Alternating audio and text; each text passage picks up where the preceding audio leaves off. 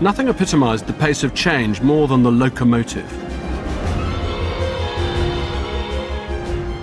On its maiden journey, the first passenger train mowed down and killed a man.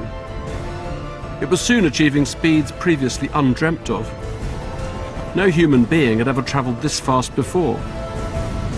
And the sense of awe that it induced was captured on canvas by England's greatest painter, Turner.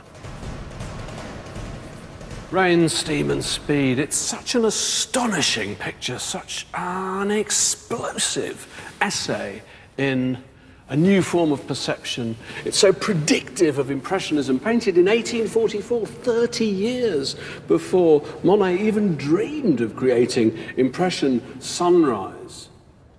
And yet, precisely for those reasons, I think this explosion of a canvas has been in a sense, misunderstood, or, or rather, its subject, its true subject, has been forgotten. What's it actually about? It's about a locomotive, it's about a steam train hurtling towards us out of the void into a void.